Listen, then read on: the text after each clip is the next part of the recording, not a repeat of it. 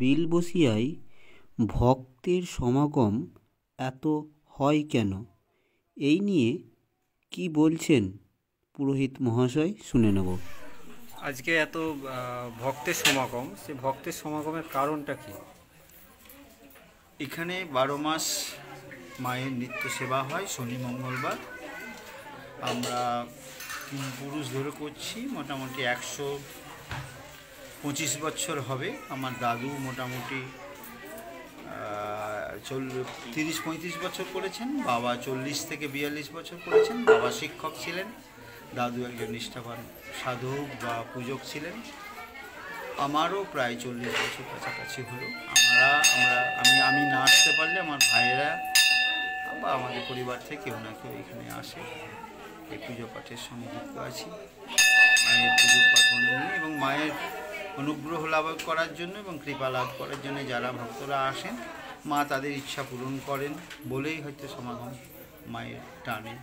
মায়ের প্রতি যে ভক্তি, শ্রদ্ধা, মানুষ যে বাঞ্ছা নিয়ে আসে, মনোবাঞ্ছা নিয়ে আসে, সেটা নিশ্চয়ই নিশ্চয়ই মা পূরণ করেন তাদের বলেই এটা এতদিন ধরে একটা নদীর ধারে, বিলের মাঝখানে জঙ্গল, তখন তো জঙ্গল ছিল।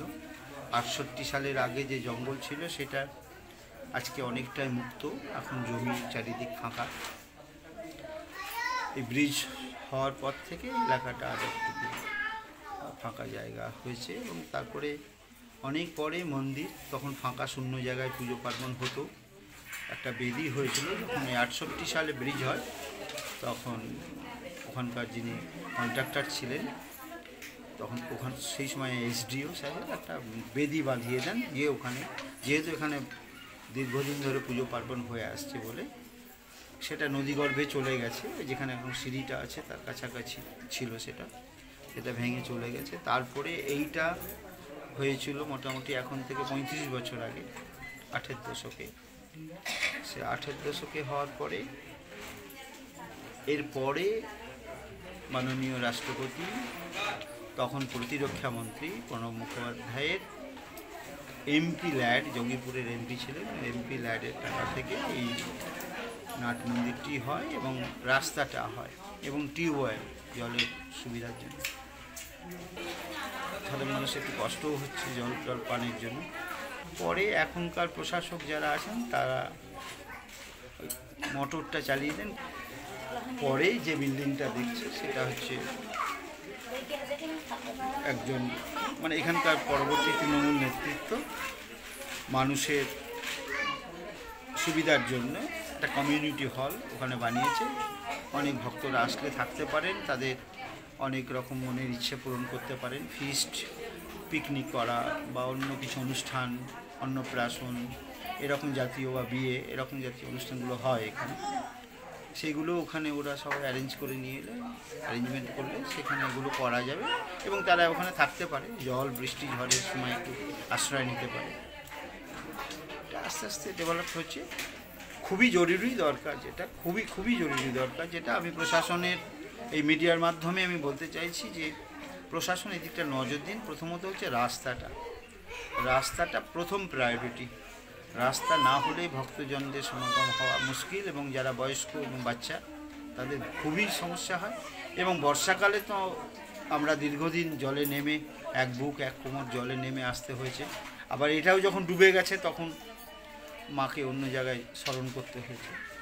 তাই জরুরি যেটা, সেটা হচ্ছে সে জলে ডুবে থাকা হয়তো ম্যাক্সিমাম বিশ দিন, এক মাস।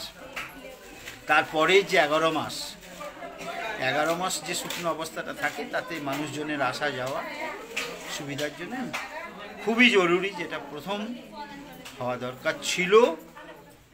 হয়তো হবে। রাস্তাটা খুব জরুরি। মিডিয়ার মাধ্যমে বলছি তাতে যেন প্রশাসন প্রশাসনের নজরে আসে এবং তাড়াতাড়ি ব্যবস্থা এই জায়গাটা কোথায়? এইটা। এটা ভৌগোলিক ইতিহাস হচ্ছে যে এটা বিল বসিয়া একটা বিল পূর্বে এটা নদীরই একটি অংশ, দ্বারকা নদীর একটা অংশ। মুর্শিদাবাদের বেশ কিছু এলাকাটা হচ্ছে, ভৌগোলিক ইতিহাসটা হচ্ছে পঞ্চবিল।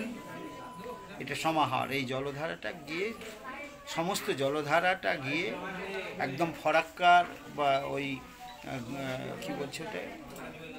ফরাক্কার পরবর্তী যে এলাকাগুলো, সমস্ত জলধারা, সাগরদিঘি থানা জঙ্গিপুর থানা এবং নবগ্রাম থানা, সমস্ত জলধারা সম্পূর্ণ হয়ে খড়গ্রামের ওই দ্বারকা ব্রহ্মাণীর উপর দিয়ে যুক্ত হয়ে গিয়ে একবার সরাসরি গিয়ে গঙ্গাতে পড়ছে। দীর্ঘদিনের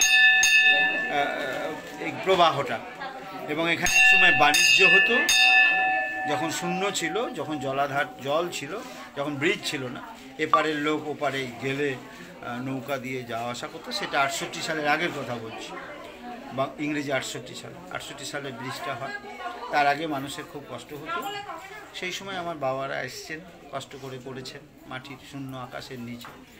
এইটা বিল বসিয়া নবগ্রাম এবং খড়গ্রাম থানার মধ্যস্থল এবং মুর্শিদকুলি খাঁর রাজত্বকালে কিছু অত্যাচার, কিছু ইতিহাস পরিবর্তনের পরে কিন্তু হিন্দু বসতি, কিছু হিন্দু মানুষ তাদের ভক্তি, শ্রদ্ধা এবং তাদের বিগ্রহ কুলদেবতাকে নিয়ে বিভিন্ন জায়গায় ঘোরাঘুরি করার পর অবশেষে এই একটি জায়গা যে বাণিজ্যের একটা জায়গা, এখানে কাছাকাছি যে সমস্ত গ্রামগুলো আছে, সেখানে হিন্দুরা সেখানে বসবাস করে এবং এই জলধারার এই বাণিজ্যের যে বাণিজ্যিক যে কেন্দ্রটা, সেটাকে লক্ষ্য করার জন্য এবং রক্ষা করার জন্য বা সেটাকে ধরে রাখার জন্য কিছু জনবসতি, বিলের মাঝখানে মাঝখানে কিছু কিছু জায়গা আছে, যেমন পাশে বিল উস্তিয়া একটা গ্রাম ছিল, সেটা এখন নয় বন্যার পরে এটা ধ্বংস হয়ে গেছে। এরকম জুনডাঙ্গা বলে একটা জায়গা আছে, সেখানে এখনও প্রাচীন মাটি খুললে ঐতিহাসিকভাবে সেটা দেখা গেছে যে সেখানে মাটির বাড়ি ঘরের ভিত দেখা যাচ্ছে। সামনে এই জায়গাটা কী নাম? তোমাদের সিঙ্গার থেকে নেমে আসে ওটাকে কি বলে? জুনডাঙ্গাতেও ওখানে হ্যাঁ কি ক্ষেত্র? চাঁদ ক্ষেত্র চাঁদ ক্ষেত্র যে জায়গাটা, সেখানেও জনবসতি ছিল, কিছু জনবসতি, এবং বাণিজ্যের যে, ওইখানে নামানোর পর যে বাণিজ্যের সমস্ত জিনিসপত্রগুলো, বিভিন্ন জায়গায় যেটা পাঠিয়ে দেওয়া হতো, তার নমুনাও এখনও ঐতিহাসিকরা দেখেছেন, গেছেন, গবেষণা করেছেন, তার নমুনা এখনও আছে, বাড়িঘরের ভিত এখনও পড়ে আছে। এমনকি একটা পুকুরের ঘাট পর্যন্ত বাঁধা আছে। তাতেই প্রমাণিত হয় যে এখানে সেই সময়ের রাজরাজারা এবং বাণিজ্যের যারা করতেন তারা সেখানে বসবাস করতেন। বেশ কিছুদিন ধরে থাকতেন। পরবর্তীকালের নিয়মে প্রাকৃতিক বিপর্যয়ের পরে পরিবর্তন হয়েছে। আগামী দিন আরও কিছু এই ঠিক। আপনার নামটা? আমার নাম শ্রীকর্মী চক্রবর্তী। এই সাক্ষাৎকারটি নিয়েছেন কেটিএন পাঁচগ্রামের রিপোর্টার নবগ্রাম থেকে বলাই প্রামাণিক।